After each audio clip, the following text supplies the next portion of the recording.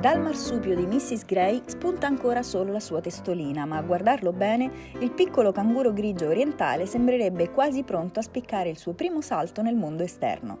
Quando la sua mamma bruca a terra, lui allunga il collo per curiosare ed annusare, ma evidentemente non è ancora pronto a lasciare quella tasca che lo contiene così premurosamente. Di lui non sarà possibile datare l'età né il sesso finché non deciderà di uscire e lasciarsi osservare, ma a giudicare dal suo sguardo vispo sembra già che mamma mamma e papà avranno un bel da fare.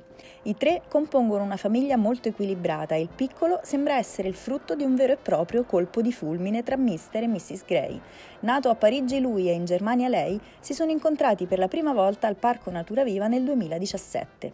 Si sono piaciuti subito e anche la nascita del loro primogenito non ha cambiato di molto il loro affiatamento. Non si allontanano mai l'uno dall'altra e anche se lei protegge molto il piccolo, qualche volta lascia che il papà si avvicini fino ad annusarlo per bene. Nei mesi a venire sarà la mamma a seguire e guidare il cangurino nei suoi spostamenti fino a quando non diventerà completamente indipendente, proprio come un canguro grigio adulto dell'Australia orientale.